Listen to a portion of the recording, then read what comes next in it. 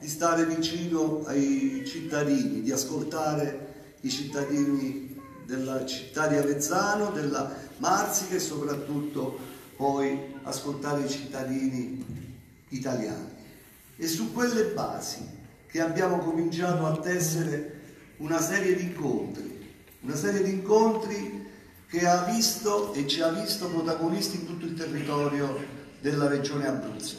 Abbiamo aggregato parecchie liste civiche, ci siamo sentiti, abbiamo costituito civiche d'Abruzzo, abbiamo avuto una persona che ci ha seguito, che ha dato subito attenzione al nostro progetto, al progetto che prevede e prevedeva da sempre essere cittadini, uno dei tanti cittadini che ascolta e che in qualche modo riesce a dare concretezza, competenza nelle proprie azioni. Oggi noi siamo qui, nelle aree interne. L'area interna è un'area che soffre di più rispetto all'area costiera. L'area interna che deve essere in qualche modo rilanciata e questo è il programma, l'idea della lista civica. Ragionare tutti insieme, ma ragionare tutti insieme per portare concretezza. Oggi abbiamo una ferrovia che ci porta a Roma e a Pescara di oltre cento anni fa. Abbiamo oggi il pericolo anche dell'autostrada, quindi che isolerebbe ancora di più con la chiusura dei ponti il nostro Abruzzo. E allora bisogna portare le idee, bisogna confrontarsi, bisogna stare insieme, bisogna essere in grado di far avvicinare i cittadini a quella politica che è una politica del fare, una politica del sapere, ma una politica della condivisione. Oggi ci sono dei lavoratori qui ad Avezzano che stanno scioperando io lo dico sempre, lo dico cosa come fatto importante. L'ascolto, l'ascolto dei lavoratori va sempre fatto. I lavoratori vanno ascoltati. Oggi c'è il problema della Foundry. C'era prima l'amico Tancredi che ci ricordava ho visto prima l'amico Tancredi e lo so che c'è, che, col quale avevamo condiviso delle azioni di lavoro e mi raccontava appunto il problema che sta nascendo oggi con la società elefante. Quindi dobbiamo essere pronti a fare questo passo in più, questa azione nei confronti della gente che ha bisogno veramente di essere ascoltata e di lavorare.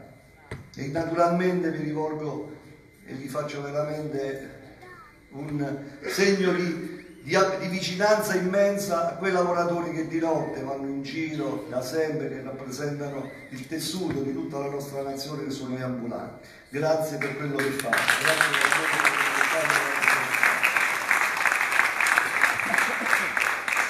Come dicevo, quindi siamo partiti con, questo, con queste idee e noi nel nostro territorio, per poter avere delle idee buone, poniamo dei temi, il tema della cultura e del turismo che possono coniugarsi, dell'agricoltura. Facile fare impresa in questi campi, è facile fare delle produzioni a chilometro zero in una terra agricola di eccellenza.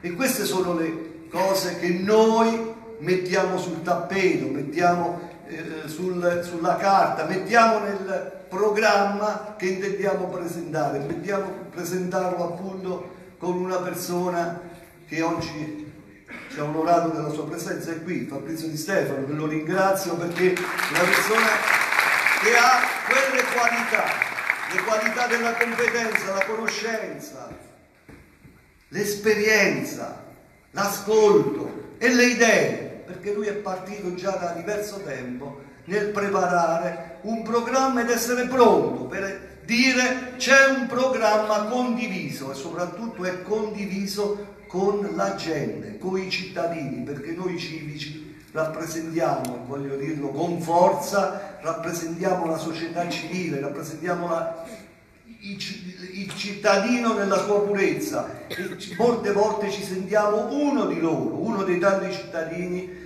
che in qualche modo in questo momento storico sta soffrendo e ha bisogno dei punti fermi. Quei punti fermi possono essere dati solo a chi ha una sua competenza e una sua determinazione. Quindi vi ringrazio ancora della presenza qui nella, nella, nostra, nella nostra città. Auspico che tutti insieme cominciamo a guardare al futuro. Abbiamo una finalità, lasciamo perdere il passato, perché il passato ci porta indietro e non porta a niente.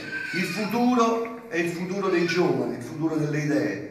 Questa è la speranza, questo è il segnale che dobbiamo dare ai lavoratori che hanno bisogno di solidità, di tranquillità e di lavoro, ai giovani che hanno bisogno di rimanere nella nostra regione, creando impresa, creando anche delle forme di cultura, di studio diverso che evitino chiaramente che, come succede nella regione Abruzzo, che di 100 laureati 34 devono emigrare. Quindi facciamo veramente valere le nostre idee, le nostre idee sono sicuramente le idee dei cittadini. Una persona che può oggi avere questo, questa competenza, può raccogliere tutte queste nostre idee, questi nostri bisogni, oggi la teniamo qui perché può, ha quelle caratteristiche ha quelle, quelle capacità, quindi sicuramente potrebbe essere un ottimo presidente della Regione Abruzzo.